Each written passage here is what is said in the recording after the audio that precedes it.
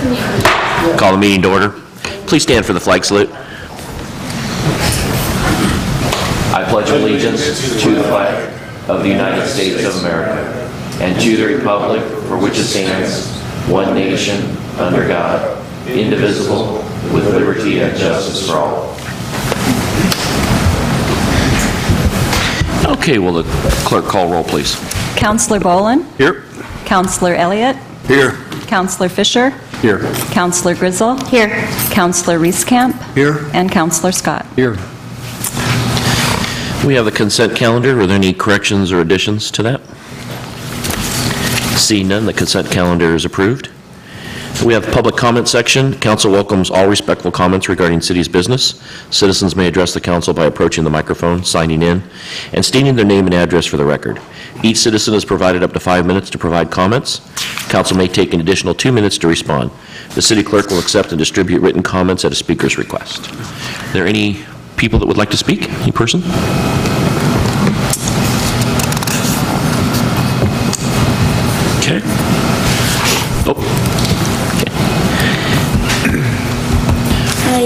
Is um, Brenda Ogle. My address is 1073 Cherry Blossom Lane here. in- I- I'm sorry, I couldn't hear. What was your name? Brenda Ogle. Sorry, I'm That's fighting a okay. cold. No problem. Um, And did you need my address again? Please. 1073 Cherry Blossom Lane here in Lebanon. Um, I was just sent information that you might be discussing removing fluoride from the water in Lebanon and Sweet Home, so I just brought information for that. I wasn't expecting to just come up and address it. I was Okay. here in case um, somebody was here to speak against, or speak for taking it out. Okay, But I did bring um, information, if I can pass that out. sure. And um, we do plan on addressing, it won't be addressed at this meeting. We had mentioned maybe, but it- we've decided that it'll be at a later meeting that we'll discuss that. And uh, we'll we'll have that out in the public. It'll be in the paper when we're going to discuss the actual issue. Okay, so then I don't necessarily need to stay today, Okay. or should I stay and listen? I- There won't be any discussion about that, so. Appreciate you coming, though. Thank you. I'll fill this out and then it'll be finished. Thank you.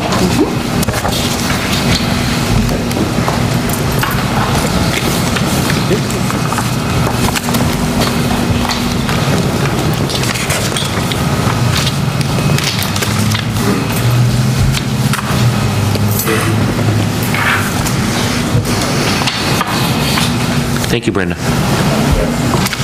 Is there anyone else that would like to speak from the public? Can I have that? It was the last one. You can have it, yeah. Okay, seeing none, um, we'll move into the regular session, the Republic Services review of the 2014 proposed fees.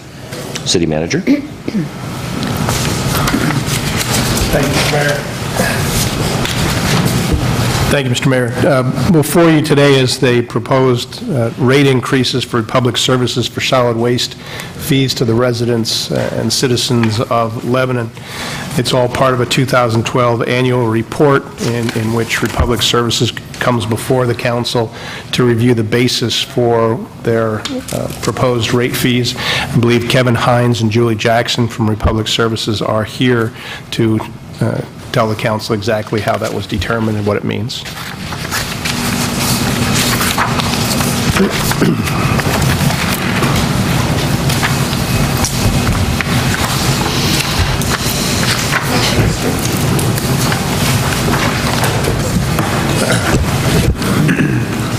Morning, Um, Kevin Hines, 5125 Elk Run Drive, Albany, Oregon. I'm Julie Jackson. I live at 630 Southwest 7th Avenue in Albany. Okay, so uh, uh, thank you for the time uh, um, that uh, you've given us here today. So we met um, with uh, Mr. Levesque a couple weeks ago discussing the annual report. This is our second year presenting our annual report. And, um, you know, it's it's a 22-page annual report. Our Um, You know, the reason for being here today was to summarize that report and then also have some discussion on uh, the, um, uh, the rate increase that was proposed back in May of 2012. Um, So uh, a little brief history uh, in, in, uh, in May of 2012, I was in here for a, uh, a, a rate increase and then a, um, uh, rate uh, methodology change going forward um, for Republic Services.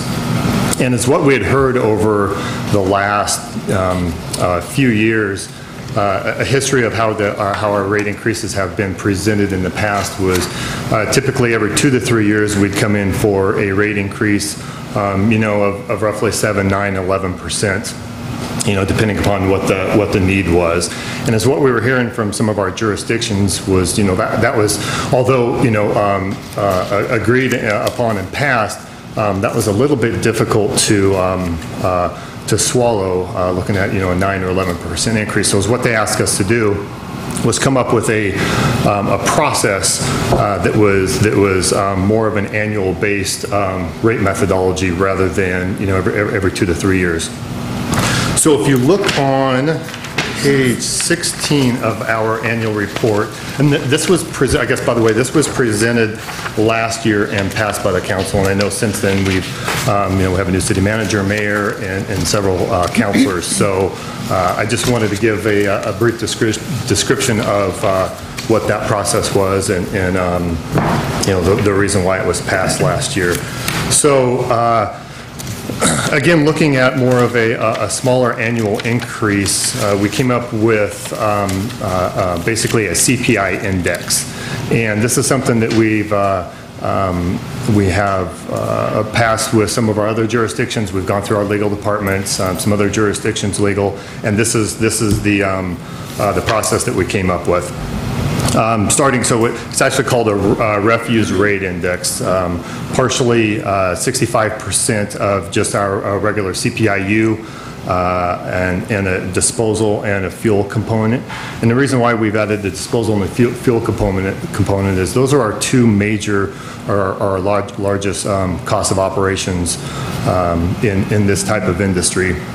So we've taken, we've taken, as you can see, just the, the regular CPI, weighted that at 65%. We've taken um, a disposal fee uh, and weighted that at 25%, and then a uh, fuel uh, component of 10%. And those are roughly what our costs are um, uh, of of those, those two areas. You can, you can look at the chart down below, how that is, how that is weighted out and how we calculated the two, uh, 2.6% uh, increase for this, this next year. And um, looking at the, the the CPI piece, so uh, uh, 1.9% CPI change weighted at 65% comes out to the 1.3%. Um, The disposal piece of uh, a 4% increase in disposal cost weighted out at 25 is roughly 1%, and then the same with the uh, um, fuel of 3.2% weighted at 10%, uh, comes out to 0.3. So that's how we've calculated the 2.6% uh, increase um, th- this coming year. A couple things that we've we've also added uh, into um, this index is, one, we have, uh, we have capped our disposal cost at 4% uh, because uh, we, you know, we do own the Coffin Butte landfill. It is part of our, our, uh, our company. Um, So we, we have, we have um, put a cap in there of a a 4% increase that, you know, that, that piece can increase more than, more than 4%. And then we've also put in a, uh, um, a cap of 10% on our margins. So, so this isn't just an annual increase that's going to go on forever and expand our margins. Um, We, we have capped that out at at a, uh, at a 10% also. And then the last thing that uh, we wanted to uh, um, put in here is we wanted to make sure that we still had the opportunity to come in um, for um, service level increases. For instance, if we wanted to um, increase our recycling programs, our yard programs to, uh, to a weekly um, scheduled pickup, uh, we could also come in and- and and do that. So, I mean, that, that's a brief discussion. Uh, Hopefully, you've had an opportunity to take a look through this, but this is something that we presented, like I said, in, in 2012. It was passed by the council at that time uh, um, going forward, and I wanted to just make sure that, that everybody was aware of this process since um, there has been some, some changes in, in, in the council. So at that point, I can take any questions, and then Julie here is going to go over uh, the the summary of of our 22-page annual report. I I don't think you want to be going through 22 pages. Yeah, I've got some questions. You answered one of my questions, that was about the ownership of Coffin Butte. Okay. Coffin Butte's your single largest line item, um, both in your cost of operations and in your, well, it's not quite your largest in your index change. It's 40% or 38% of your index change is Coffin Butte on your largest single line item in cost operations. Correct. You- Can we get some information from you on the financial performance of Coffin Butte? In other words, why is it so expensive to- to put garbage in a hole in the ground? I mean, I know there's some operation costs. I'm just curious what the, what the net numbers Yeah. there look like as well, since we're paying for that as Yeah, well. and- and and that is, and that is a great question. And, and one of the things that we have, we have offered up, and some of our jurisdictions has taken us up on it, is, is is a tour of the facility. Um, That just, I mean, it just kind of puts Financially it for sufficient. perspective. Um, You know, the the cost of, you know, um, or I guess in the past, uh, the perception of, you know, digging a hole and putting garbage in and burying it is, is long gone. Um, uh, You know, the. the- I'm, the I'm aware of- that there's a lot more to it than that. Yeah. Um, And But I then. guess my, my question would be, you're showing a 7.9% bottom line on this operation. What's the bottom line on that operation? Oh, With, with it being a separate entity of mine, I'm, I'm on the hauling company side, I don't have that information. That's, the- that's the number I'd like to see. I- Okay. I'd like to see the same kind of information on Coffin Butte that we're seeing on this local operation. Okay, okay, I can see if I can get that. Again, you know, it is owned by us, but a I completely understand, separate but we're paying operation. for it in a but- pretty big line item. Yeah, we can do that. You. Okay. Kevin, I have a question. Um, In in talking with the city manager, uh, he was mentioning that you guys are going to start working towards some alternative fuel in your vehicles. We are. Is, is that cost benefit going to be passed down to us? The savings? It, it will be to an extent, there is a large um, investment, a capital investment to, uh, to do that, um, you know, with the trucks being, you know, roughly $300,000, and then the infrastructure of having, having to put in a, uh, um, a fueling station. But yeah, at some, you know, at some point, that will certainly be, be passed down um, uh, to the, to the customers. I mean, the fuel is much cheaper than, than diesel fuel. So, um, yeah, I mean, we will be seeing that savings. I guess one other quick thing I wanted to make, so those disposal costs doesn't necessarily represent just the landfill. It's, um, it's our um, processing recovery facility uh, where, where we're taking our, our um, yard debris, our compo- composting, and then also the, um, the, re- your, your recycling, the, the cost of, um, transporting and, and and taking that to market. So it's actually really three separate facilities in one line item. It'd just be nice to understand a little better. Okay, absolutely. I have another question on recycling. Um, I- I'm familiar with Marion County's recycling program, and theirs is very robust, and they, they accept just about everything. Uh, One of the things that frustrates me is that when I'm recycling, I love to recycle, and, and when I'm recycling, all of the styrofoam goes in the trash, and that goes in the landfill. And, and there, there's no alternative for it. So i- i- is there any kind of an option that we can, that we can do some kind of a styrofoam recycling? Or, or or recycling for other items that aren't accepted in the, because there's a lot of stuff that we just throw in the trash that you say we need to just throw in the trash. So one of the things that, um, that I do is, I I have in the past, I've worked with the recycling program and actually taught the master recycler program for Linn and Benton counties for about five years. And, you want me to use this one? We, um, styrofoam is one of those things, this is what I really tell people, stop buying it. Stop using it. We need to stop making it. Because while there are programs to recycle styrofoam, they are in Portland. And if you think of styrofoam, I tell kids it's like a plastic Cheeto. It's mostly air, a little bit of plastic. So hauling an entire truckload of styrofoam to Portland doesn't yield much actual plastic. There's a lot of controversy over whether the fuel and the resources required to get it to a recycler even benefit, if there's a net loss in benefit for recycling styrofoam. So it's a really tough product. We know if it goes in the landfill in a million years, it'll still be a styrofoam cup. That's the other problem with it. So it's a bad product environmentally, and it's difficult to recycle. In the time that we've been, here, that I've worked for the company, about eight years, there've been about three styrofoam recyclers go out of business. So there are times when nobody can take it. It's a problem. And, and it's not one that there's a good environmental solution for right now. And another question, again, this is maybe a naive question, but uh, the bags that we get at the grocery store that have the little recyclable symbols on them, we can't recycle those. Is there a reason for that? There there is. Um, Our recycling, and I'd be happy to to um, bring some videos and show you um, the process they go through, but it's a very mechanized facility where all the recycling is sorted, because that big cart full of mixed stuff can't be recycled into anything. It all has to be sorted into like commodities. And so it's very mechanized. They spend a couple hours a day cutting plastic bags out of the machinery, l- stopping, cutting plastic bags out, and then starting back up again, even though we ask people not to put it in, and all the other folks who bring stuff to them ask not to put it in. So it just can't go into that process, but it can easily go to the grocery store or a depot where those are collected, and they just have to be source separated and can't go in the cart. Okay. That's all I have.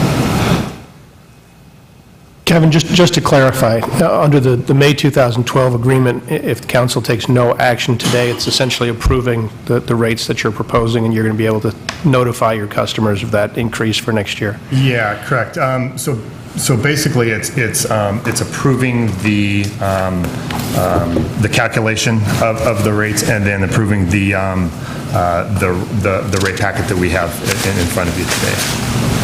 We will notify customers, I think we have in there that we have, to- we will notify customers within 30 days.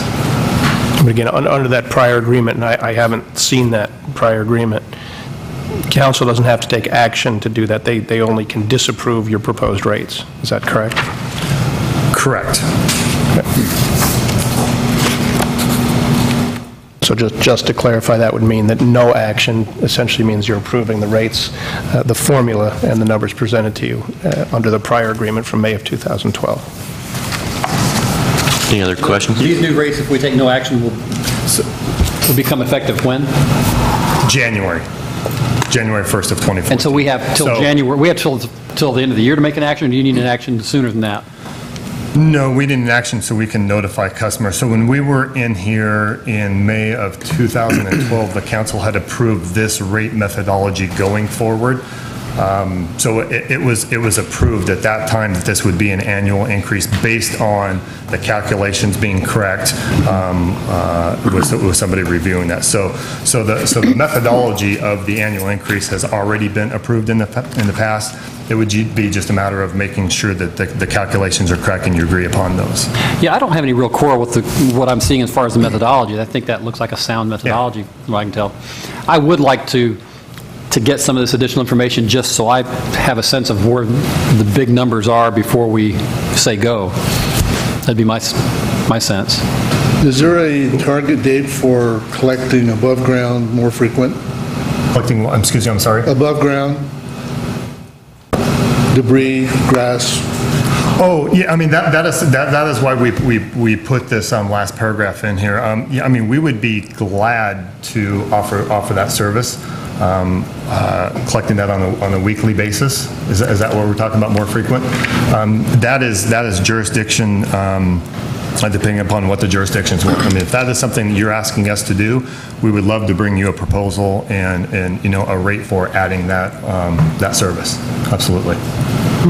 We, we have off, um, you know, we have offered that in the past to some of our jurisdictions, and, and at, and at that time, um, you know, that was just a service that, uh, they didn't want to add. And you don't have a mechanism for people, individual households, to opt in or out of, of, of, uh, I want weekly, I want bi-weekly? We, we don't, just be, because of the cost of that, what that would cost to run another truck Yeah. uh, separately. Yeah. Any other And- questions? Oh. So our inaction, today, we do nothing. You move forward, and you start with your notification of, That, yes, that, Okay. that, that is correct. And that, that what, that is what was passed, what was passed last year. Right, Yeah, okay. Going forward. but you do need to come to us every time. We need, yes, and that that Just was to the other thing notify us Absolutely. to do nothing. We will be, we will be in here every year, showing you the financials, showing Okay. you the calculations, showing our Good. new rates. Um, Absolutely. How much time do you need to notify your customer base? We, you start that like this next week? Would- Seeing, oh, Or for January? We will. We, we need to, because we have, we have a um, um, bi-monthly cycle, so we will need to notify customers the 1st of November, and then other customers in December for the 1st of, to be effective January. I'm good doing nothing and having you escort Barry through your facilities at a future date. We can certainly do that. I, yeah. Yeah, I don't want to go, to I don't want to go to Coffin Butte. I've been there enough. On page 17 of the uh, pr- proposal, you have uh, a statement in there that says the um, calculation shall be provided to the city in September 1st, 2013. Yep. Uh, And were, w- did we receive those on? We did, yes, That's the yes. 30 days, and so the 30 days would technically run until October 1st? Um, Yes, I I dropped these off the first part of September Okay. for for your review, and then for us to get in here, it- typically sometime in October for for this discussion. And my memory of the way that this works is, basically, we've approved, that this council has approved of the rate uh, increases every year based on the calculations. Yes. And we can only object to that based on a error in the calculations. Is that correct? That is correct, yes. So, I mean, I guess my advice to council is, is that unless there is a motion based on an error in the calculations, that no action today simply approves what we've previously, the council has previously approved, which is the modification of the rates based on the index that they provided. Um, So no action today provides them the go-ahead um, to proceed pursuant to the agreement that we've already made with them back in 2012. You know, I'm good with that. I don't think it's probably a big enough deal to, to try to hold this up. Uh, I would like to, like, say, have an opportunity to review these numbers over the next couple months, and maybe possibly, based on that review, look at this one more time next year, but I don't see any reason to hold it up at th- at this stage. Okay, great. And we'll, I'll stay in touch with Kevin, and we'll get that information for you, Counselor Scott. And all the counselors will provide that to you. Okay. Any other concerns from counselors? Okay. Thank you very much, Kevin and Brenda. Appreciate it. So just real briefly. Oh, I that's right. I'm a sorry. I have not enough for everyone. Maybe you want to share, and we'll just, I- this is kind of the happy, touchy-feely part where we talk about all the great things that have happened in 2012. Um, I will tell you that I just this week got the recovery rate, which is how we calculate what's been recycled and reused and composted and all those things for Linn County, and we are again above 50%. I believe it's 51% for 2012. DEQ is always a year behind. But, um, but that's great. I will tell you that Benton County is at 46%, if that makes you feel better. Yay! They have a hard time with that, let me tell you. So I just want to briefly let you know some of the highlights of 2012, and, and one is um, that we held our second household hazardous waste event in Lebanon. Um, That was something that Linn County and I think the folks in Lebanon were asking for, and so that has been a big success. Um, We've begun to collect food scraps from the Lebanon Hospital. They are really into that, and they know that we have this program where we're composting food waste. So that's um, happening. Julie, We're Working with Lebanon High School to certify them as a green school, which is a great program, helping them to reduce waste at the school and find ways to reduce waste and possibly cost as well. And then um, we have an- our annual Spring Recycle event here in Lebanon, our Recycle Roundup. Um, The next page just real quickly shows our um, efficiencies, and so what it shows you is that we are, are um, hauling our industrial hauls in more hauls in fewer minutes. Oh, I see a typo, sorry on there. Commercial yards are being hauled, um, more commercial yards of waste are hauled each hour, and more residents are being picked up each hour. So while we focus on safety, that's our most important focus, we are also more efficient, and we're getting more done in less time. So it's important to us to continue to do that and keep rates down and um, work for the folks who we work for. And then Kevin says this is a really busy, lot going on on the next page, and there is, but it just has some numbers, sort of um, how many customers we have in Lebanon, how many participate in recycling. So 97% of all of our residential customers participate in recycling in Lebanon. I think that's a really admirable number, and it gives you an idea how important that is to people. Um, For 2011, the recovery rate was 55%. So we've gone down just a little bit, but the state goal is to be over 50, and we're over 50, which is just great. Um, And what that tells you then is that the landfill rate was 45%, less than what was kept out of the landfill, and that is really a great thing. The tons recovered over here on the top right, 12,478 tons recovered, that is everything that was recycled for Linn County. We don't really have a mechanism to separate Lebanon or Albany out of those, so it, those numbers always go in as a group. and then 10,428 tons were composted and converted to compost at our facility in Benton County. Julie, is there a plan to expand the um, the composting to residential? You know, as Kevin said, that is one of those things, in order for us to offer food waste, we call it this food scrap program, and we're doing that, I think you're probably aware, in Corvallis and in Salem, and some other places. Um, In order for us to expand that to Lebanon, which is, as Kevin said, we're happy to offer that, um, we have to go to every week Instead of yard waste, we call it mixed organics now because it's yard waste with the food scraps. And we have to go to every week, and that's just simply to make neighbors happy because we don't want to have odors in the neighborhood. And if we went every other week, especially in the summer, that can be problematic. So that program has to become weekly at that point. I will tell you that in um, a survey we did in the Corvallis area, the single most requested program before we went to this was weekly yard debris. I think people, you know, you think you're not using it every week, but leaves in the fall, and then I prune roses in the winter, and, you know, all those things happen. So it's a good program, and it's certainly one we'd be happy to offer in Lebanon. And if, the- and if you added food scraps to that, it kills me to, to be, you know, to not have that, and I, and I'm not a gardener, so I, I, I would do nothing with it if I just did it myself. So it kills me to just throw that in the regular garbage. I would love to, You know, and the really good news is, we've gotten to a point where the low-hanging fruit is taken care of. We're recycling paper and plastic and cardboard and those things. So now we're looking for those other products that are a little bit harder to work with, and, and food waste is one of those. We know that about 20% of what goes into landfills is organic in nature, and a lot of that is food. And so, yeah, I think there's a lot to be said about Uh, putting those into a compost facility and doing something beneficial with it. what is your rough guess of what, how that would impact fee-wise to a residential customer? A dollar or five dollars? I mean, what is? You know, I, I think, I think we're probably around the 3 to $5 range. Um, a- Again, that, it depends on, on the density of, of the area, um, how big, um, uh, how many customers participate. Um, But that, that would be something that, you know, if the council was, was um, looking at, that we, we could come back and give you a proposal on that. Um, uh, Timing on that would be, you know, probably, you know, the February, March, April time when people are starting to use their yard debris carts again, trying to get a rate like, um, a rate passed right now when, you know, people aren't using yard carts as much. But we, we could certainly come back, um, you know, maybe in Q1. if Do you that's have something a- that a you're interested in. mechanism to um, say, uh, and this may be way out there, but to um, survey Lebanon residents, to say, if we could, if we went weekly, Yes. and we included food scraps, would that have enough value to you to increase your rates by X amount roughly? Um, You know, I I hate to increase people's rates, I- I- obviously, it's a, it's a tough time, and, and that would be not necessarily very popular, but, but I would pay $3 more if I could do that.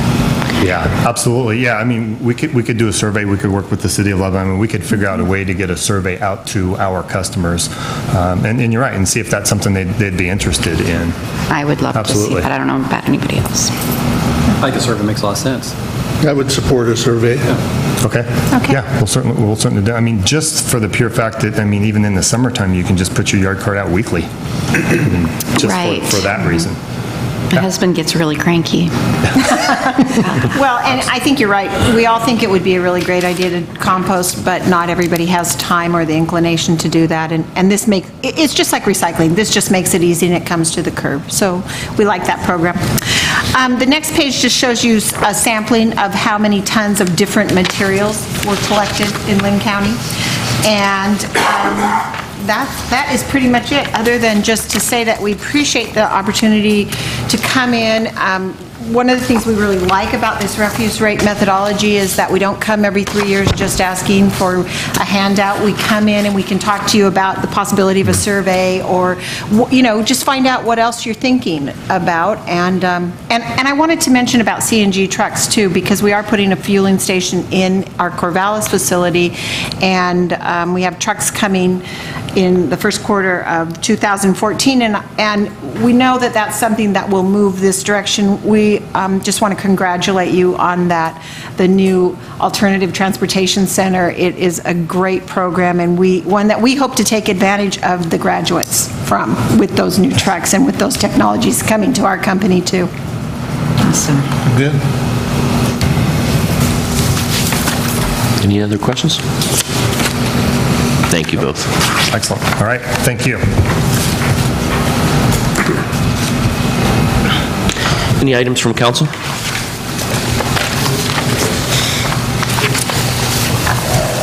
Okay, seeing none, we have one last opportunity for public comments. Anybody from the public would like to speak?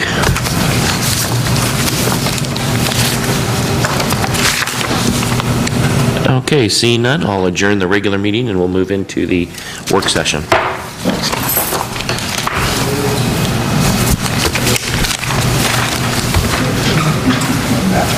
Okay. And our first up will be the water and wastewater utility update by Ron. I forgot to give you these earlier. These are just kind of pictures of the slides. There you go. No. Just the styrofoam. Thank you. Sorry. Paper cut, yeah. I appreciate you printing those out, thank you. Oh, yeah, you can't see. It's back there. huh? I do have eyes in the back of the head, but not...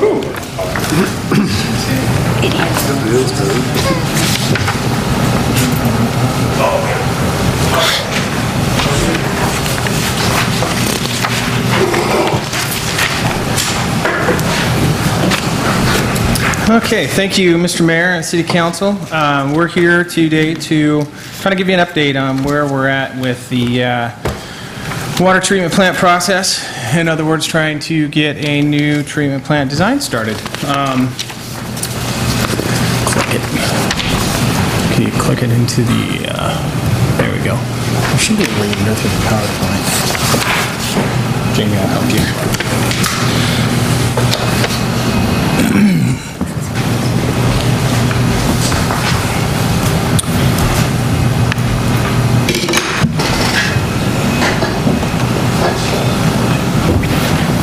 Okay, so what we, what we intend to cover with you is the background, basically uh, how we got to where we are right now, um, project funding, what our funding picture looks like based on where we're at with rates right now, um, what we perceive to be the direction we're headed, um, looking at the O and M costs, what the operations and maintenance costs are going to be for the new plant, um, some options that there may be there, um, give you an idea of the sub-consultants that Carollo Engineering has proposed for this project, and uh, go through a summary, basic summary with you, and then hopefully questions and answers. And and keep it informal. Any questions you got, just hit me with them, and we'll, we'll work through that with you. And the idea is just to kind of give you an update on where we're at, so. Uh, With that, we had consensus uh, at the August 14th meeting from council to start negotiations with Carollo Engineering. Um, Staff has been very involved with the development of the scope uh, of the project. Um, We went through and we've had multiple meetings with Carollo to, you know, go over size, uh, various things, utilities, what we want to locate, what we want them to look at doing, uh, all the different options there. Um, the initial scope and fee uh, that was based on our input, basically our input, and with Carollo guiding that, uh, didn't fit within the current funding scheme that we have right now. In the rate structure that we have right now, that, that means not implementing the next 15% rate increase. So we're, we're trying to keep it in this box right now of that 3 15% rate increase with the possibility of some smaller inflationary going through. Um, That's what we're really looking at. That's why we're, we're going back and forth and negotiating with Carollo, um, trying to find a plant that fits within that framework, as opposed to just saying, well, the original thought process was to do four 15% rate increases, um, we're trying to see if we can do the project within the 315s that we have right now and make that happen. Um, So that, that's kind of in a nutshell where we're at with them.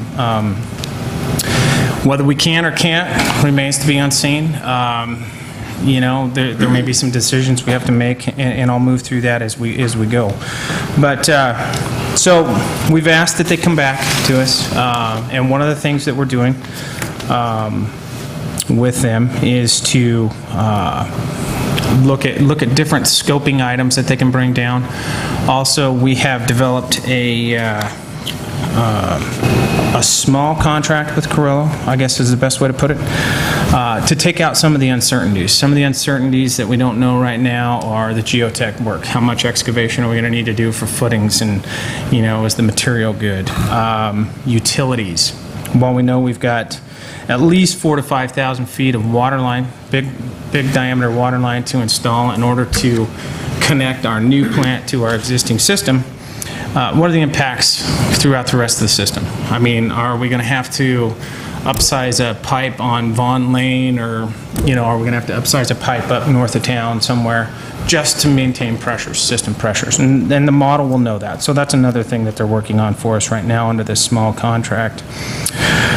Um, You know, and then, uh, like I said, the structural fill, um, they're working through that process, and then the pre-treatment process a little bit.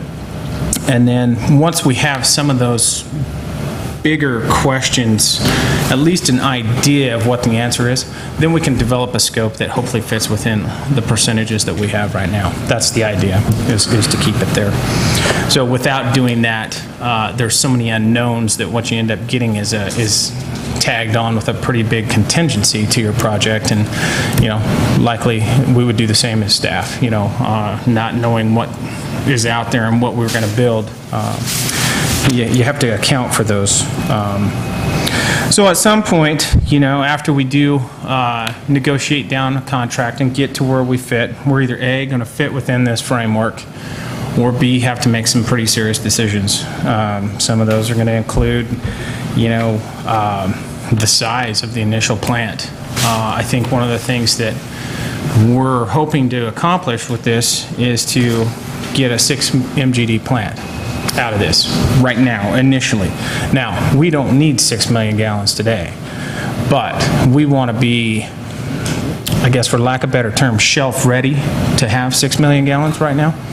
Uh, That means all the plumbing fixtures and whatnot in, maybe not as many filters in place, uh, because likely the plant would run a little more efficiently at 4 MGD right now, but we still want to be capable 6 MGD right now. Um, I I think that's important um, to to go there. So that's a decision that's going to have to be made if we can't get there within that funding mechanism that we have in place right now. Uh, You know, future growth, which ties right back into that. Um, Design of the building, you know, there's several different building designs. We could be real basic, I'll call it a hangar-style building, Um, basically look like a shop. Um, Or we can go with a pre-engineered building. Both of those, um, the cost differences are are pretty substantial. Uh, The O and M pieces to both of those is pretty substantial. Uh, One of the things with an engineered building, you can put a crane system in that helps pull pumps and, uh, you know, makes the ease of operations, you know, so there's a different, different things that you do with the different types of buildings. So that's another thing that we're having Carollo look at in this minor contract that we have with them. Um, And then future regulations, uh, you know, we've got to have adequate room and think through uh, what the future regulations are going to be. Um, You know, the regulatory agencies rarely don't make any more regulations, you know, so, I mean, obviously, we're going to be you know, what are we treating for next, you know? So we have to kind of think through some of that stuff, and it all impacts the price of the project, you know? Um, So we're trying to take some of the unknowns out of that. Ron? Yes, ma'am. When you're looking at um, architecture of buildings. Yes. I think it's important, and I'm, I'm sure you're cognizant of this or aware, or, but I would think it would be a priority, which building would last longest? I would hate for us to, as a council, to cut Absolutely. cut now and 30 years from now, not having had the foresight to have a, a, you know, that our you know, my kid is now having to face this same conversation because we didn't have, Right. we didn't have a good enough Right. long-term plan. And that's, and that's where the decision-making from, from this body is going to have to come into play. Uh, Our hope is that we can, we can come in, build this plant within the framework of the dollars that we have now. I mean, that's, that's the ideal situation, uh, and that's what we're really working hard to pin these costs down so that we know if we can do it. Because the last thing we want to do is either A, tell you we can't do it, and turns out we could have, or B, tell you we can do it, and get to the construction bidding process and go, we can't do it. Um, So we're really trying to narrow those costs down right now, you know, and, and that's, that's, that's hard to do uh, with a project this size, um, you know, especially with some of the unknowns. But the building, you know, that, that is a good point, and um, that's another decision that, you know, th- this body can definitely make. Uh, We'll give you the pros and cons of both of those, you know, I mean, like I said, they both have their O and M, you know, some, some things are, you know, we can build a pretty basic building out there and, eh, it looks all right, you know, or we can do a little bit nicer building. Uh, Obviously, um, we're not looking at the uh, Taj Mahal type building. We're looking at something functional. Um, But there's functional and then there's down here, you know, so, so we, we- we'll look at that, and that- that's definitely something we're, we're taking a look at. Um, So back to unknowns, uh, next slide there. Um, The intake design, that's another big one. Um, Right now, Albany's under the FERC regulation, Federal Energy Regulatory Commission. Uh, That's changed the status on the canal a little bit. With them running their hydro plant, um, they come under new regulations, one of which is, uh, you know, we're a sole source, our water is sole sourced off the Albany Canal. Uh, So this FERC committee determines that it puts Albany in a higher class. So what does that mean? Uh, I don't really know, but I think, you know, we could be looking at a, a little more substantial intake than we were originally thinking as staff, you know? I mean, what we'd really like to do is a box culvert design that pipes it over to our side with some pretty basic stuff out there. Whether we're going to be able to do that with Albany or not, obviously, we'll have to wait and see. So there's, there's more cost there that we don't know the answers to. Um, Geotechnical, that's coming soon. Connecting water lines, I think, you know, once we run the model, we'll have a little bit better handle. Um, Your building type, we've kind of covered that. Uh, Pretreatment. Right now, uh, we're looking at this and we're thinking that we don't have a whole lot of need for pretreatment. Um, That being said, we won't know the exact answer to that until all the water chemistry is taken into account with the membrane suppliers that we actually work with and whether we need to pre-treat up front. Our initial stab at it is no, we don't, which is a good thing. Um, You know, if, if anything, it'd be very minor. Uh, It's not like we need to build another treatment process on the front end of our plant uh, prior to going to the filters. Um, let's see. Ah, and then it, obviously I threw in there need for additional treatment uh, to meet future regulations. Um, what's that look like? I mean, one, a couple of things we're looking at. Um, we want to leave room in the plant for UV disinfection for uh, you know things that come up, and and uh, we're not necessarily going to put it in right now, but we definitely need to leave room. Not a big thing. Pre-treatment, if they change the pre-treatment rules on us, we want to make sure we leave enough room up front in the plant to where we can accommodate something to cover that so that it's not a complete redo uh, on the plant. So there's a lot of things to look at there. Is that, with that kind of thing, is that primarily just a matter of making the buil- building a little bit bigger, or? Yeah, and, or, or having it thought through to where, um, you can add something. It, it doesn't necessarily have to be in that building, it could be in a, a separate building, uh, but just something, some way. Somewhere in the flow. Yes, somewhere in the flow, somewhere in the process, that we can do But that. it's primarily physical space to allow for it. Absolutely. Uh, And we start allowing that physical space, some of it obviously in the building. Your building grows, uh, you know, you don't want to just make a small box and hope that everything fits in it at the end of the day. Uh, But it's not, gotta- we're not talking like major new valving that is there as a contingency valve or something like that, or something? Well, it could be, yeah. I mean, uh, those regulations, what are they? What are they in the future? You know, I mean, we don't know. I mean, there's talk of uh, treating for uh, uh, like your, your prescription drugs, you know, out of rivers, you know, how, how- what, what's that process look like? You know, whether we get there or not, I don't know. But these are the things that we need to look at as we size the building, so that it's not just set like this, so that we can actually put more process in it if we need to, and it's expandable. Weren't we originally, when we set out on, you know, the the talking of the new facility, wasn't the target like 8 million gallons? Yes, six to eight, six to Okay. eight. So, so I, I think we had, a- we've had multiple meetings. Uh, Seems like we meet on this all the time and are are going through the numbers. Uh, What, ideally, what we would look at right now, I think if, if we had a perfect world and everything, the stars and the moon align, which we're hoping they do, uh, we get enough filters in our plant to run 4 million gallons right now, but the racks, and and I'll have to bring some pictures and show you, the racks are set for six, to where all we got to do is screw canisters on, and we've got 6 million gallons right there, ready to go. And then you leave ample room to bring another skid in to get you to 8 million gallons. But if you start reading through the master plan and looking at our growth rates, and it's probably, if you stayed on the same growth pattern we are today, I mean, it might be 40, 50 years before we need that 8 million. But it would- wouldn't it be true to say if we went, we had a growth spurt um, pre-2008, that uh, from everything I'd heard 10 years prior, that was a very unanticipated growth spurt, and it was fairly significant. Yeah? Uh, If that were to happen again, we would meet those numbers very quickly, I would think. Probably not. Well, not. another question I have, this, this, this facility will have duplicity in it, Yes. right? Okay. Yes.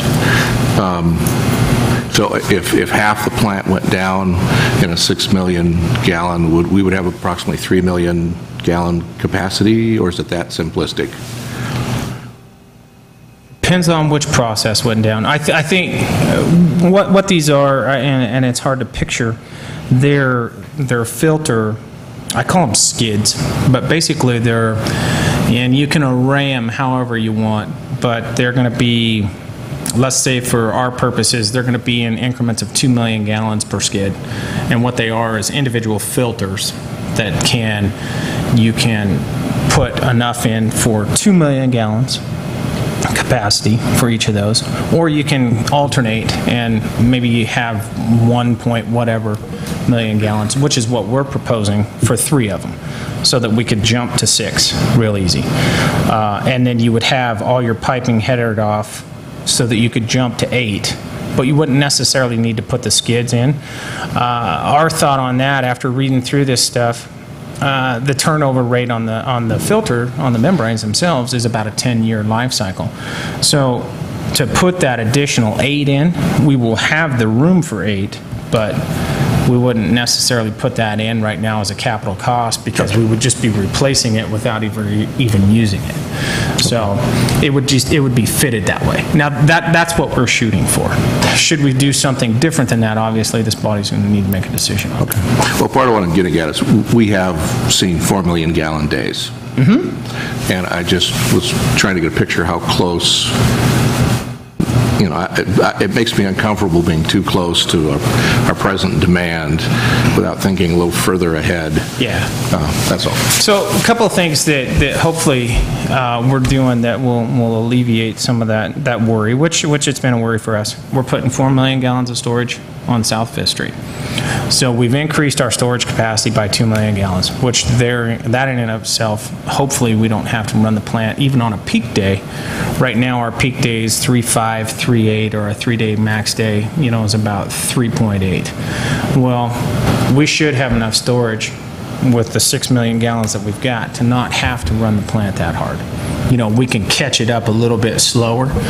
Now, if you've got 4 million gallons set there with the amount of storage that we've got, um, you know, it's, uh, you should, you should have ample, ample filter room to do that. Now, let's say that we got in a situation where um, all of a sudden we were seeing you know, global warming actually hits and we're doing 4.5 million gallons a day for our peak days. Um, That's why we want to be set to six so that we can call up whoever our membrane manufacturer is and say, hey, I need some more filter units. They ship them to you, you screw them on, and all of a sudden, you're making 6 million gallons. Your, your plant capacity has, has grown to that. That's the idea, um, i- is to have that be in place. And they'll be on skids. So back to your question about is there redundancy? Yes. So I can take one skid offline and still have potentially 4 million gallons capacity. Uh, so- And you would physically have space in the building, I think I just heard you say to go to eight. Yes, Without- that's our goal. Okay. That is our goal. And that, and that's, you know, we're, like I said, we're, we're putting this all in this box of, can we do what I'm talking to you about right now in the rate structure that we have? And that's, that's what we're shooting for. So, So Ron, I just want to make sure I'm understanding how this plant works. As I understand it, the, the the gist of this is we've got infrastructure, you know, pipes and stuff going to the site, utilities going to and from the site. We've got a physical building, we've got an intake off the canal, and inside the building, connected with some sort of a manifold, are these skids of filtration units. Correct. So that's, so the skids are the filtration units, the treatment units. yes. So It'll go through a pre-screening and some stuff like that, but yes. but generally, the, so, you know, if we had an extra skid sitting in the warehouse, you know, if one skid for some reason blows up, we'd stick a skid in and replace it if we had to or something. Yeah, you would call your manufacturer and get one, yes. Mm-hmm. Okay. With, with some, with some mechanical plumbing, but yeah, that- that's Yeah, essentially but once, you- how it once works. we've done, once we've done the- the infrastructure of getting stuff to the site, getting the site built, the actual filtration capacity is relatively updatable. I would say we're shooting to be updatable to 8 million gallons. I think once you get past 8 million gallons, I think your infrastructure within your Yeah, distribution then the system... infrastructure itself starts to uh, become a different issue. You're, you're talking a whole new ball of wax at that point, Sure, I and, understand. and our thoughts on that, unless you have just a humongous growth spurt, that's a long ways off. That's a long ways off. God, even I'll probably be dead before we need eight. I got to imagine. Well, I hope not. Well, could be. I mean, you guys, well, Uh, Okay, so that's kind of the unknowns. I mean, there's a lot more unknowns than that, but that, this, it kind of gives you a snapshot of what, what's going on. Um, Next thing, and I think we've kind of touched on it, is the project funding. Uh, In 2000, it says 2007, but that master plan was actually completed in 2009. Um, We had a cost estimate of about $25.5 million, which included a 30% contingency. Okay, that included the engineering price, that's in the master plan. Um, Also included a on, on-site at-grade reservoir uh, and some other things. Um, So paring that all down, um, you know, we've had probably six years of inflation, close to six years of inflation. Um, We've got uh, three of our four 15% increases that we've implemented uh, in order to do this piece of capital. So we're, we're tight. We're, it's going to be tight. Uh, I think right now, we won't know the answer to that until we get some information from this preliminary, preliminary stuff back from Carollo. Uh, And once we know that, why then, we can look at it, and we can have more discussion if necessary at that point. what's your time frame? do you think, that you'll know more? Uh, we got the scope and the uh, small contract that we're doing with Carollo back today. Um, I have staff back at the office right now developing the engineering services. So this agreement. afternoon? Yes, and, yeah, well, we'll get it to them. They intend to have a work session with us like uh, December 4th, something like that. And then we would be looking at December 20th for final, so we- we'd have some ideas. And then, you know, the big contract with them for the design would probably be January, February.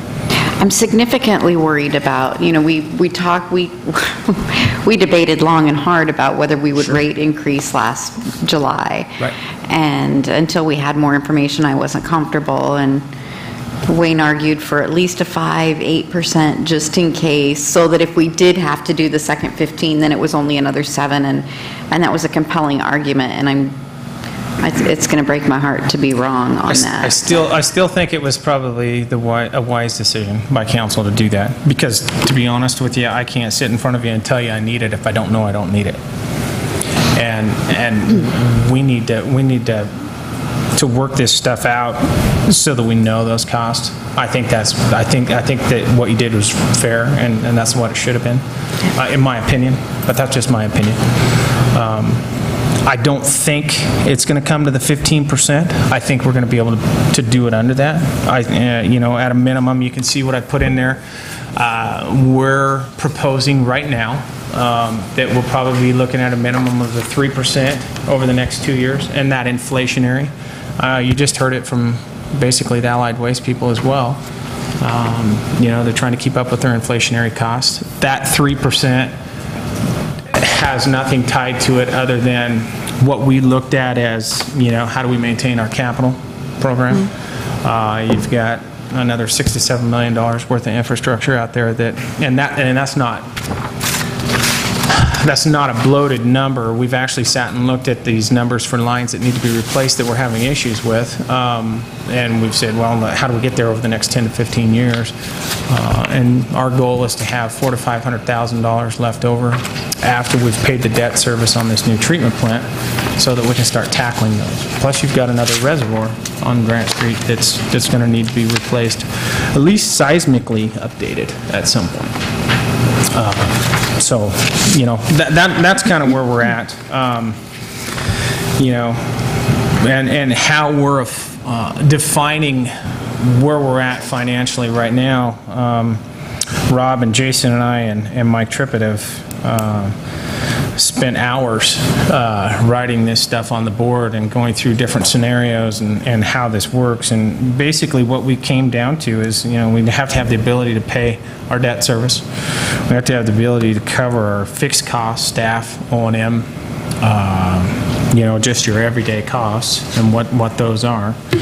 And we've got to be able to uh, maintain our system that we have. And we got to have a capital program at the end of the day. What we don't want to do is um, try and do this uh, in the funding that we have, and in three years tell you you've got $3 million worth of water lines that just failed. Um, Guess what? We need a 20% rate increase now to cover those. So we're, we're trying to weave and dodge and, and, and make all this work within what we have here without having to go, to go back to the ratepayers to get more money. What, the- what would be nice is to, to have a nice steady increase and, and then if you did miss a year, it's, it's probably not that big a deal. But I think for now, what we're looking at is, is definitely the next two years. Um, Ron, what kind of methodology you guys use to project costs of these projects? Uh, it's- Right, Do they differ, or do methodologies differ from a major project like a water treatment plant or a reservoir as opposed to your water lines? In terms of? In other words, you just look back and say, over the last 10 years, we paid this amount for contract to do, you know, X amount per foot or per mile to put water lines in, and that's, it's just extrapolate that way? Oh, we- we- How do we you actually keep- do that? We keep it daily. I mean, daily, I say daily. Um, You know, we take all of our current cost trends, and we, we keep those, and, and we move them forward. Um, So you add a percentage, you add, you know, 2.5% for inflation per year. Uh, Some years that, you know, you you look at, so you move forward that way. I know a number of years ago, the City of Lebanon had a small water line replacement team, and I know that um, for- if if the data that I've been given or been told about is accurate, that that team was was running water lines up to what, six, eight inch kind of diameters? Yeah. In that ballpark? And what I understand is that that team was able to to beat contracted type construction costs on those water lines by in the 30 to 40 percent range. And that was, you know, I'd like to, I've been told that that data exists there at the city in some historical fashion, but. Is it 30 to 40%? Um, And I, I mean, I can share with you where I got that sometime, but, um, and, and somehow, you know, I've got reason to believe that's probably not inaccurate, because I've seen other projects that have that similar kind of performance, and so I'm just curious what we could, you know, for one, I'd like to look back and just find out if that's really true. I mean, I don't want to sit here and make a big conversation about something that's not true. Sure. But, so, you know, I have been told that from a reliable source that that was about the numbers we were running, and, I- you know, and over about a five-year period, as I understand it, that You know, that we- team was in place. We used to do the designs for the small waterline crew as far as costs. Uh, they ran their own costs. You know, that, that came Yeah. out of, uh, Rod Salem ran most of that program. Um, so So take yourself back to this number right here, um, the four to 500,000 a year. Um, That's basically what that, that small diameter waterline crew had, was four to five, four to 500,000 a year. That covered staff, that covered equipment acquisitions and materials. materials. Uh, They did probably, I'd say four, three to 4,000 feet a year, basically, of small diameter pipe. Uh, Water line, yeah, it's probably comparable. Um, You know, you get a contractor, can we beat a contractor uh, put, installing water line? Yeah, probably, probably.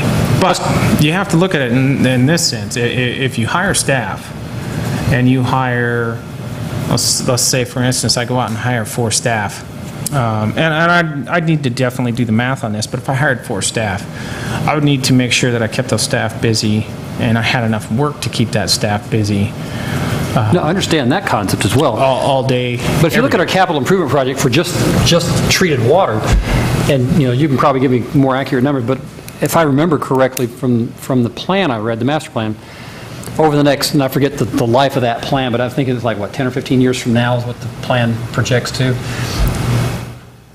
I think the number for capital improvement projects was in the neighborhood of 44 million for, for treated water. And of that number, that includes the treatment plant and some other big projects. So Sure. I'm thinking in terms of water lines themselves of up to X number size, not just small, but, you know, I was in the impression, you know, roughly two-thirds of that number, you know, half to two-thirds of that number was for water lines and stuff, I as opposed yeah, to probably. major projects. Probably. And if that's true, and if the people I've talked to that were involved with that project, I, I I asked the question, I said, you guys are doing small lines, I said, could you guys handle big lines? Well, if we had some, a little bit bigger equipment, some bigger shoring, and a few other things like that, yeah. Um, And if there's a 30% number there, well, we're talking some numbers that are worth at least exploring. Yeah, and we can do that. I mean, ORS is, ORS is, will, will dictate what we can and can't do. Um, I think we can, uh, do our own work up to $125,000, uh, before we have to go to, and, and Trey, we'd have to look at this, uh, on what it is. I mean, I'd, I'd have to go back through the ORSs, uh, and see. Well, yeah, I'm not necessarily making a recommendation today, I'm saying, I'm just asking to maybe have Yeah, a and, and, conversation. and actually, uh, Dana and I and Jason have talked about it so, You know, we haven't really sat down, to be honest with you, and put uh, any numbers to it. Um, You know, so that's definitely something that we could, we could take a look at. Um, uh, You know, you got, you got to factor in equipment costs, all that stuff. too. But, it- you know, if you're talking $20 million over 15 years, the equipment costs are starting to get pretty affordable. Yeah. If the, if the, if the numbers are, that I've been sh- given are not far off. No, I, I- I think it was a, a fair program. That, that program was, uh, was disbanded. I, I remember when, when we did it. Uh, Basically, looking at future needs being large diameter and the treatment plant. And we got to collect all of our capital that we can collect right now and start putting it in that direction. Um, That was the mindset at that point. And I think it still is at this point, you know, I mean, we need to, we need to, I mean, there's a lot of little lines that need to be uh, addressed as well, but um, right now, our focus is primarily on that treatment plant and, and some of our big diameter stuff, and and fixing. When you say big diameter, give me a uh, 12 to 16, 12 to 16 inch. Yeah, Uh, Versus an eight. Right. Versus six. and what's the equipment requirement difference for doing that in the same fashion? It's primarily an equipment as opposed to skill level, right?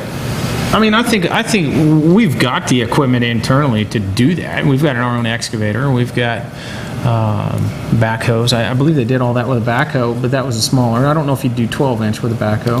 Yeah, we'd use an excavator now, and we have a wheel loader, so Right. we're set up for the projects, and we do, we do find ourselves doing some of these Yeah, and we do- we do. projects to help things along. Uh, and I think we're looking at doing that even with the plant, some aspects of that. I guess my basic take, without making you know, a a proposal, but what I've observed of certain city staff departments, you guys and others, is you guys have capabilities way beyond what some of we, things we ask of you.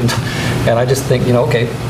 Well, we're actually doing them, you know, I mean, we, we did the Filbert Street water line, we've done a lot of storm sewer replacements with our guys, uh, you know, because there's, not- it's not a big capital area. Um, We've done uh, street repairs, huge street dig-outs. Uh, And like Jason said, we're looking at, uh, with the geotechnical into this, if, let's say for some reason the geotechnical came back and said you got to over-excavate six feet for your building pad, uh, we talked and we would do that internally, uh, because that's a huge cost to have that contracted and hauled off, you know, where we could do it uh, as time allowed and, and got it done. So I think we are doing some of that.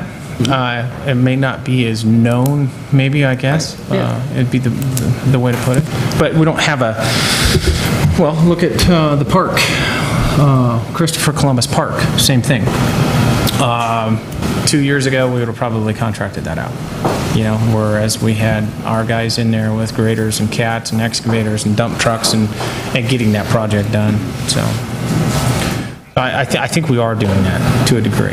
The question I think you have is, is it, is it cheaper to take on a m- more of that?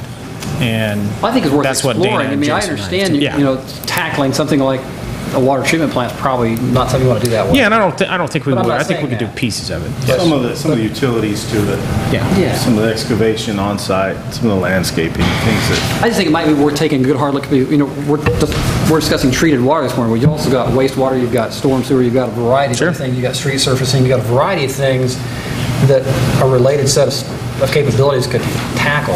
Yeah. And that, you know, it might just be worth taking a good hard look at that across the board. We intend to. yeah. Would we have the ability to do that, or would we have the manpower to do that without sacrificing other services in the maintenance department or the, I mean, is Well, that, we that would- seems like a current, the way manpower we're currently intensity. staffed, something's got to stop while we're doing, doing Sure. those additional duties. Well, but if you're going to tackle, well, it's, it's just, you have to look at the whole thing in, in broad scope. You may want to upgrade your manpower level at some level, but again, I'm not ready to suggest this is what we do. I think I'm asking for just some conversation and exploration. To this I'm point, not- I'm not ready to make a recommendation by a long shot. to this point, we've been able to absorb it and just keep shuffling things down the line and piling more on the, on the crews. And They've responded to that. At some point, there's a, They're going to stop responding. Oh, they'll respond. Oh, they'll respond, yes. It'll just be a, a different response. Yes. I think, Councilor Scott, to address part of your, part of your issue is, that Ron and and Jason have been challenged to evaluate that, and we're going to look at that. Um, Right now, however, a lot of our capital is being kind of saved, and we're scrimping to ensure that we can try to hold the rates and put as much of that capital towards the water treatment plant, so that we can keep those water rates down. Once that plant is done and we know exactly where that is, and some of that capital is freed up to start doing the projects again, I think that issue becomes much more relevant. But hopefully, we'll have the answers before that happens. Yeah, that's, that's, uh, that's basically uh, exactly what we're looking at, so. Uh, Moving on, operations and management. Um, So one of the things that uh, uh, we asked for Carollo to do was to determine the O and M costs of this new treatment plant. What's it going to take to operate, maintain this new treatment plant? Uh, Is it the most cost-effective way with city staff, or is the most cost-effective way with uh, our current contractor? Uh, What is that? Tell us what you think there. And so they're working through that process, and um, when, when we get a contract with them, that, that'll be one of the big pieces in the scope, and I just want to let you know that that is something that we are looking at. I think it's, it's, it's warrants looking at. Uh, Not that our current contractor doesn't do a great job, but I think it'd be prudent for us to always keep that in mind, in the back of our head, you know, what, i- what is the best, you know? Um, So, a couple other things we're looking at for uh, uh, operations, um, alternate power, whether, whether it's effective or not, um, you know, different types of building, green building, that type of stuff. So, so those will all be looked at as well when, when we get to that point. Um, Sub-consultants, I stuck this section in there, uh, just basically to give everybody an idea that Carollo kind of stuck to their word um, with um, who they actually went and um, selected to do all of the sub-consulting work. And that's Udell Engineering, Irwin Consulting Engineers, Foundation Engineering, and Crawford Land Survey. So every private business that we have that's an engineer land surveying here in town has, has gotten a piece of this work too. So uh, we were pretty happy that they stuck with that. And that, they, they did that on their own. We did not dictate that as staff. Um, They, they did that on their own, so it should be noted. Uh, And then I guess the summary, um, you know, and we've kind of beat it up a little bit, um, trying to define a scope that fits within our existing funding and doesn't sacrifice our quality capacity or our operations and maintenance. Um, I think that's the, the number one takeaway from this is, um, there may come a point when we say, well, we can't get what we want with the funding mechanism that we have in place right now, and we may have to come back to this body and say, well, we need X percentage in order to move this thing forward. Uh, And I guess to keep in mind, we're, we're, original cost, we're 25 million, you know, and that was, that was four to six years ago. And then now we're looking at um, 75% of the initial rates that were looked at for funding this capital project. So keep that in mind uh, as we're going through this. Um, It's important to us, though, as staff, that we try and do this. Uh, That's one of the goals that we've set, actually, as uh, Public Works Department, is uh, we're just going to keep banging on it until we get it to where we want it, you know, and we're hoping that we get it there so that we don't- we don't, uh, we don't have to come back with that existing rate increase, or that additional rate increase.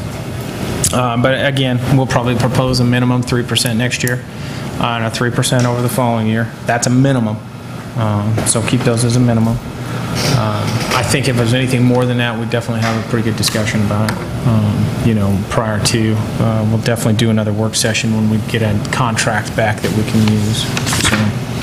And we talked about an, an initially, an increase every year anyway. Correct. So the 3% you're, you're saying we're probably going to need the next two years is on top of No. just a 3%? I'm just saying, please. At least. Look at doing the inflationary. We did not this year. And- Right. And there was a reason we didn't, and, and I basically told you that with the staff reductions that we had, and who was staffed in water and how that worked out, that we. And until we knew more. acted like a 3% Yeah. inflationary. So we didn't lose anything this year.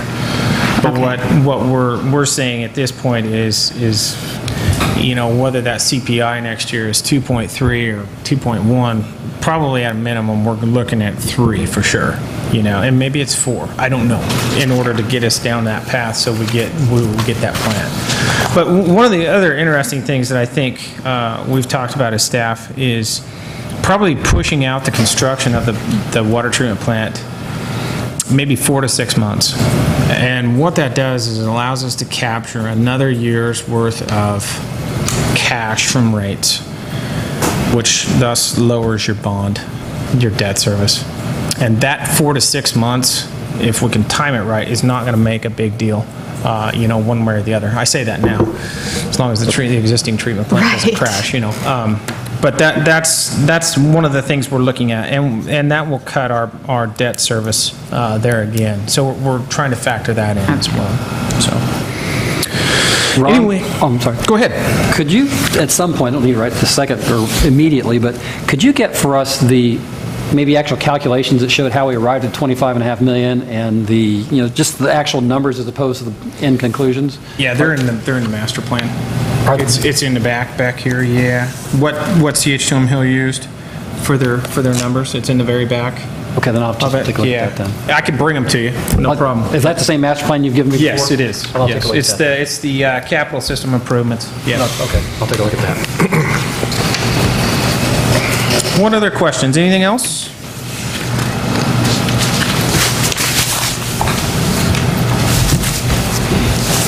Other than that, some of us wanted this thing built already, but hey. We could have done one 60% rate increase, I guess. That was on the table. I know it was. I know it was. Um, No, I think, I think uh, you've done right with, with the rates. I think that was the, the right move still.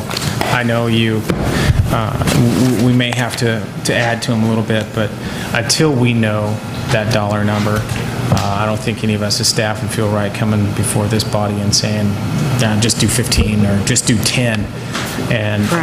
and and not having a, a a basis for that. I mean, even if, even if our next increase is 7 or 8%, I mean, I'm okay with that because we didn't do the 15 before we had enough information to make a, to make a, you know, a, a- a good decision on that.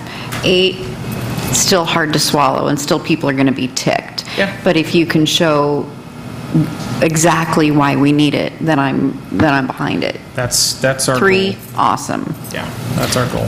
You know, ju- Just to finalize, you know, council's aware that we've we've had this on the agenda a few times to actually try to finalize the contract, and- and Ron and his his folks, we've sat down and said, you know, we're not quite where we want to be with the numbers yet.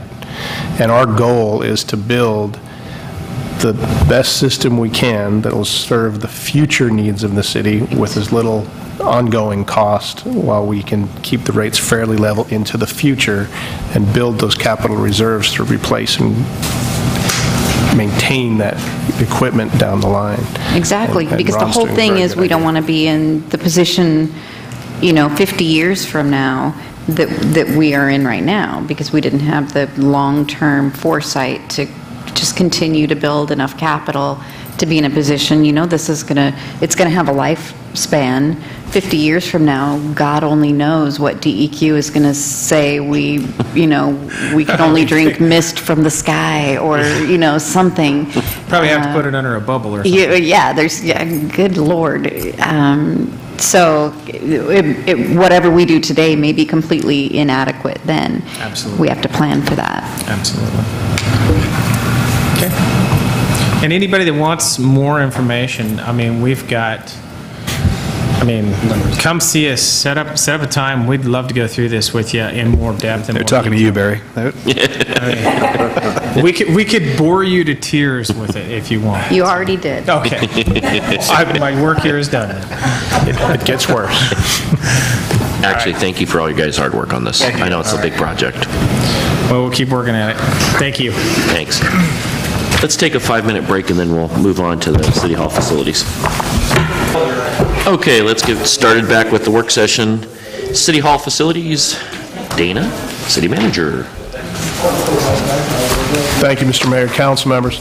Um, You know, I was greeted by what I could only assume was John Nelson's subtle hint to me that there were some issues when I arrived on the first day, and there was an instruction book to an earthquake monitor on the middle of my chair. And I started asking people, what is, what is this? Of all, you know, I'd heard about the rain and all this, and suddenly it was this earthquake issue. And people started talking about, oh, yeah, you know, our, our building is going to collapse if there's an earthquake.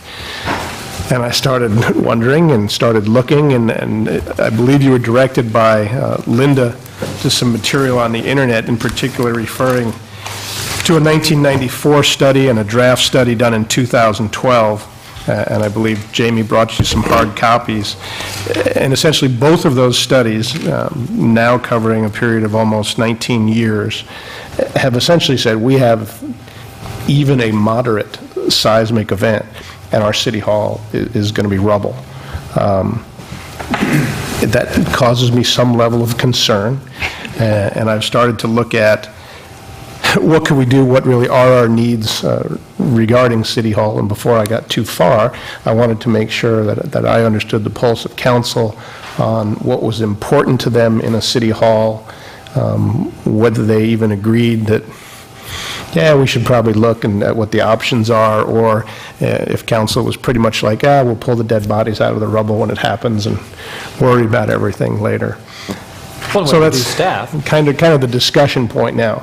Um, And when and if we get to uh, some of the options I've identified that uh, really relate to specific locations and pros and cons, I think we would need to uh, convene to executive session. Yeah, I have to say, uh, I'd heard some of the discussion from John Hitt back last year when we were talking about it, and uh, I hadn't read the report until just, you know, a couple days ago. And I was, I was pretty shocked at how, how bad the buildings are, the different sizes, heights of the buildings altogether, the fact that they will all collapse on each other because of the different sizes, because there's essentially three buildings there. It's, it's pretty serious. Well, I, I, if I remember correctly, it was in the late 90s, there, there was a- at least one day that the, the building was evacuated because of anticipated high winds. Um, that did indeed come through, but not quite as strong as they had expected, but there was reason to believe back then that that was a threat. Well, so what you're basically saying is that City Hall is unsafe, therefore we need to do something about it in some fashion, make it safe for the folks that work there. And possibilities are fix it, and, you know, repair it, which is expensive, um, tear it down, get rid of it, and buy or build a new building, or farm staff out to other locations around the city, and maybe some other options I haven't thought of. That seems to be the basic picture. In other words, the- am I correct in hearing you that we don't feel like we have a lot of options as far as dealing with the problem in some form? Well, ultimately, uh, what I want to do is bring you back options, and that's when you'd actually have to make a decision. Today is just kind of a work uh, session to get your input. I don't want to bring options back that nobody has any interest in whatsoever. Um, From, from my perspective, there are certain things that are important in a city hall, uh, and that is there has to be a creation of a sense of community, a a gathering place, a place where people think they can come and uh, address their issues with the city, whether it be with the city council or with city staff. Um, I know that this council has expressed concern about this facility as a city chambers. Um, I think it's very quaint, but not necessarily the most accessible or the most uh, fitting of a government body such as yourselves for citizens to feel comfortable coming in and addressing the council. Certainly, our current building isn't exactly comfortable for people to come into a a fairly small waiting room. Um, issues with potential security, with completely open windows and, and things like that. Um, So I I don't know what's important to each of you relative to the kinds of things I, I should consider. If all you're really thinking is, you know what, we just need an austere rectangular building that serves a functional purpose, then I will look at certain types of options. If, on the other hand, you're thinking that it should be something that uh, is illustrative of the community values and open space and, and that feeling of community, then I think that there are other types of options that may or may not involve larger parcels of land or or other locations. So really, I'm kind of looking for that guidance in, in just an open discussion here. And then, uh, again, I'd like to go to executive session if the mayor's uh, willing to discuss some specific locations that I've looked at that are potential options for uh, expansion, should we choose to go that way. I would like to see us, I would like to see us have something representative of uh, our more recent, you know, the library and the, the the senior center, the, the uh, Justice Center. Um, I think it should have, I think it should have a more accommodating facility for uh, public meetings, and I think it should be something, you know, we, we have this uh, momentum of people in Lebanon really feeling proud of Lebanon, and really feeling like we got it going on compared to uh, uh, most other communities in Oregon, and I think it should be representative of that. I completely concur with that sentiment, I really do. Um, The idea that, I mean, if you look historically, communities have always been proud of their public edifices, you know, clear back to Greece and Rome. It's, it's, you know, to build an edifice that represents and- and promotes the community as a entity is, is a good thing. And so I I concur with you. The other sentiment that comes out is, is that, um, you know, we need to keep in mind what it costs the citizens that live here to do this. I mean, ancient Greece bankrupt themselves building the Parthenon, and we don't want to do that. And so, somehow we're going to, to strike a, a balance of those desires and, and, or be really creative and get them all accomplished. But, um, you know, we're trying to build a water treatment plant right now that we're struggling to figure out how to afford and, and to tack on a city hall right now, at first blush sounds difficult. Now, I'm not ready to say we can't figure out a way to do the impossible, so let's not, I'm not saying that, but let's keep in mind that we need to keep the cost of living in this community on the downward trend, not the upward trend. I think if we could come to, if nothing else, if we could come to a consensus that status quo on City Hall right now, as it sits, is not, I, I don't find it acceptable. If it's life-threatening, that's clearly the case. It's not acceptable. We have a real liability if we let it go too long, and we've known this for Yeah. Right. years. But, and- you know, we can Since solve any problem 1994. throwing enough money at it. Yeah. So we got to be careful with that as well. Right, and that, that's a concern that I have. I don't want to see, when I read this report, I mean, this, both engineers basically are saying that it's, it's just cost prohibitive to make this building workable. It really needs to be torn down and rebuilt or somewhere else, so I'm, I don't feel comfortable trying to fix this building. Well, and I really think even uh, trying to build something else on that site and tear it down is really l- limited to the scope of where our city is growing. That's probably small already. So I, I agree with you, to, to throw money at that building.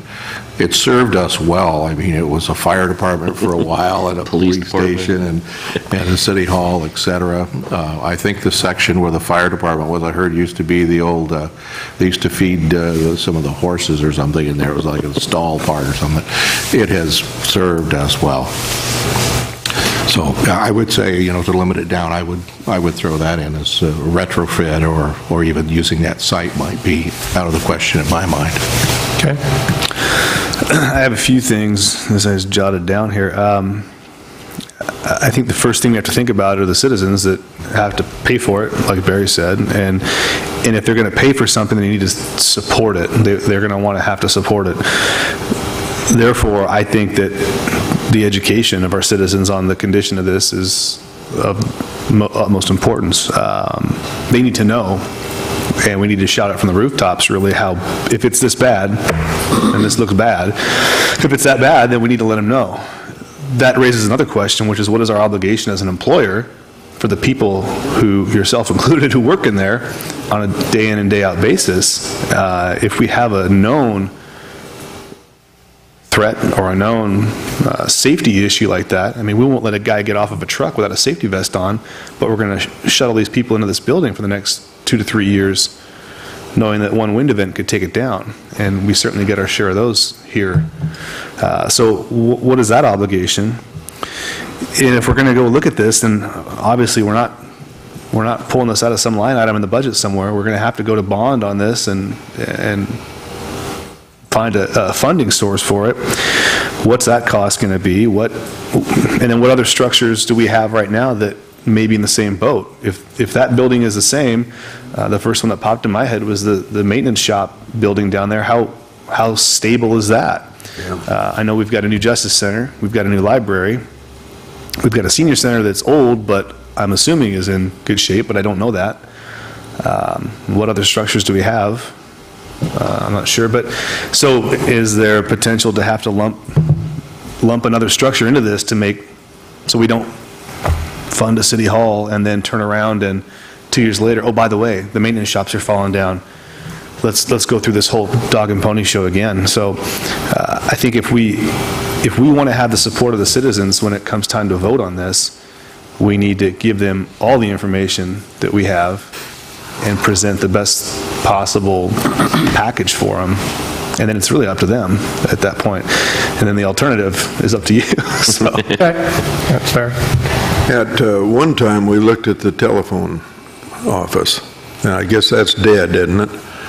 Uh, That we kind of pulled away from that. Is off the market. We've got a couple of um, car dealership buildings in town that are empty. Would there be any feasibility of doing anything with those? I think we need to, we- that would be for executive session. Oh, that oh, part. okay. And, uh, Okay. and and then we'll go with the generalities now, and then if we have Okay. any specific locations. So a- at least this point, what I'm hearing relative to consensus is, it- it's not, fixing the current building isn't really uh, an option per se. That seems pretty clear. Yeah. That there has to be citizen Probably support. cost you twice as much as what it would do to build something new, but. Yeah, to me, the, the question is, is, you know, what do you, where do you put people next? Yeah. And the question there is, you know, do you build something new, which brings all the funding issues up? Or, you know, do we take existing facilities and start parsing people out as a stopgap? You know, somewhere in that spectrum is probably the answer, but getting them out of a facility that's unsafe probably seems to be consensus. I know for a while too, we rented some office space. Yeah, I mean, there, uh, there may be several v- ways of moving forward, but if it's unsafe, it's We unsafe. certainly always move everyone in the Justice Center, right? There you go. So, yeah. So, thank you, Councilor Bolin. I think Linda's going to. Very helpful. So there's, there's, I think there's two issues. I think one is the immediate issue that we need to look at to make sure that the safety of the employees and the building, that that's taken care of. And then the secondary, I think, is a a permanent location, final location. I think those are the two. Yes, and if we do some sort of, if we come to some sort of, you know, farming people out and renting places, um, that that isn't a good 10-year plan, say, you know, No, what- it'd be a whatever, if stopgap. if we, yeah, if we, Done if we that in do the some sort of past. stopgap measure, then what is our, what is our, Real plan. yeah, we need a real plan. It might have to be period. a, but i- if we don't have support to move forward with it, we may move them out for the sake of safety in the short term, but if the community's vision doesn't match ours, then there is no long-term. Once you go Well, door that's a to door, reality, you're but gonna, you know, the, the- like we, I think we've already agreed that, you know, putting folks where they're safe is top priority. Absolutely. And I think we can do that, and then if we, if the community says we're happy with them spread out, well, that's the community's choice, but I don't think it will be. I think, I think the community, my sense is that this community and most communities, if presented with what is necessary, will pony up. I think what we need to be careful of is making sure it's really necessary, and we've done it in a responsible way. Right. 'Cause I think, I think, you know, if we go to the community and say, this really is important, it's necessary, I think the folks will say, "Look, go ahead. It's hard to argue with. They they typically back what needs to happen, so, but I don't want to go to them and say, let's build a, you know, a brand-new Taj Mahal City Hall, because we really need it, if there's some other way. Right. Well, and a year ago, two years ago, that, the conversation, I think, would have, would have sounded differently than it would today in the public, mm-hmm. For a variety of reasons. I agree. I guess the, the two other issues that I just want to kind of touch on, and then I think we'd need to recess to to executive session to discuss any specifics, but one is the council's feeling on the general location of where City Hall should be. We have the downtown, we have a new developing area on the north, we have a developing area on the south, and I'm not quite sure how council feels about the, the general area that City Hall should be, or if there is a preference or no preference. Well, if I had, if I could just pick it from personal preference, I would say somewhere in the, in the Academy Square area. You know, that seems to be the area in which our civic buildings are developing in a nice way, and that's accessible, it meets everything. You know, you could spread the city influence around the community in some fashion, but I think there's some merit in having a a core of, of municipal function. That's, that's my personal opinion. And and just because you mentioned a specific one, but fortunately it was a city-owned property, um, just to, Trey and I had spoken- talked about this before, not to talk about any specific potential property locations, Sure, but just I wasn't general. saying that side as much No. as that part of town, is where I'm, you know, as opposed to clear out the south end of town somewhere. I have, I have received some feedback from people on this, and uh, I- I'm like Barry, I kind of think that Academy Square is a nice area. We've got the Justice Center, and I think it'd be nice to kind of keep that all together, and it could be near Main Street, so it's still fairly close. Uh, But I've also received some comments, some feedback from people uh, saying to keep it downtown more where it is. Yeah. Not, not right where it is necessarily, even on Second Street, but somewhere in that downtown core that's a little further downtown. So just, I just heard both sides. Well, and I would say that, uh, I think I've heard some similar things through the years, but also if we're talking about being really open-minded, if there was a compelling case to go outside of those parameters, I think I'd be, I'd want to hear about it to to entertain it. I think so with the people. I agree, I think we need to look at all the possibilities. Yeah. I agree, like if, like if Jason said, if it, if it turns out that really it would be best because the, the, the the maintenance building is also failing or is close, or, you know, we're, that's within a five-year consideration, and we were going to do, we were going to consolidate those, I could say, you know, I could justify moving the, moving it to the south end of town because we're, that's the only place, say, that we could combine those facilities and, and really get the best bang for our buck without having to, to spend more money. So I, I have heard people say, oh, it's great to have it downtown, which is awesome for people who are downtown. It would be great to have it out there. If there was a compelling reason, I could have it in the south. So I'm, The truth is Lebanon is not so big that accessibility is going to be a problem. yeah, anywhere we this go. isn't Portland. It's not, you- you you know, you- wherever you put it, it is going to be out of somebody's way. And, and more convenient for somebody else. Yeah, it could go from three minutes to five minutes away. So downtown would be awesome, but I, I think a case could be made for almost anywhere if the price was right. Especially with the price, exactly, and that's, you know, eh, that's where that comes in. And we'll uh, obviously explore that later in executive, but